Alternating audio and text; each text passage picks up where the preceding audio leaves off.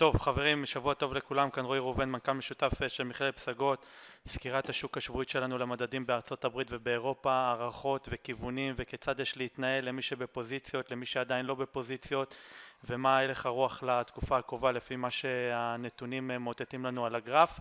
טוב, מתחילים מדד הגרמני, המדד הגרמני בגרף, בגרף השבועי, דיברנו כאן על קו המגמה הזה שאמרנו שסביר להניח שהוא ייפרץ, הוא באמת נפרץ, הקו כרגע החליף תפקיד ומשמש כרמת תמיכה וסביר להניח שכל עוד הוא ימשיך להחליף תפקיד ולשמש כרמת תמיכה זה מבחינתנו מצוין.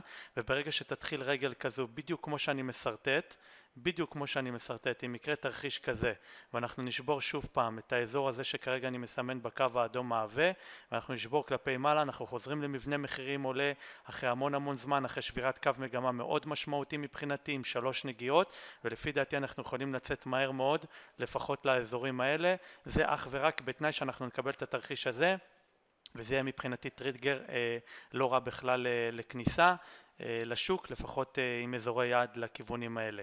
לגבי המדדים בארצות הברית ה-S&P והנסדק תוכנית העבודה נשארה ברורה. אנחנו דיברנו על גל העליות הזה אמרנו שהגל הזה צריך לעבור תיקון לפחות גם בנסדק וגם ב-S&P 500 בזמנו דיברנו כאן על קו המגמה הזה שאני מותח לכם אותו כאן בזמנו בסקירות השתיים שלוש האחרונות. שהערכנו שהקו מגמה הזה ייפרץ. כנראה שאנחנו נעלה מהר מאוד לאזורים האלה. הכל מסומן כאן על הגרף. כרגע אנחנו אמורים לבדוק את הרשת הזו במיוחד אחרי 1, 2, 3, 4, 5, 6, 7, 8 שמונה שבועות של עלייה אנחנו אמורים לבדוק את הרשת הזו שמסומנת כאן. הרשת הזו הצהובה הרשת האדומה הזו. אם נתמך מעליה ונחזור לעלות כלפי מעלה זה יכול להיות מאוד מאוד מעניין מבחינתי שוב פעם לאסטרטגיה של רכישה. מי שנמצא כרגע בפוזיציית לונג בשוק צריך להמשיך לעבוד עם נקודת הסטופ שאז בזמנו גם בסקירה האחרונה הגענו על, על העסקה בנקודה הזו כאן שנמצאת איפה שאני מסמן את ה... עם הסמן שלי עם החץ.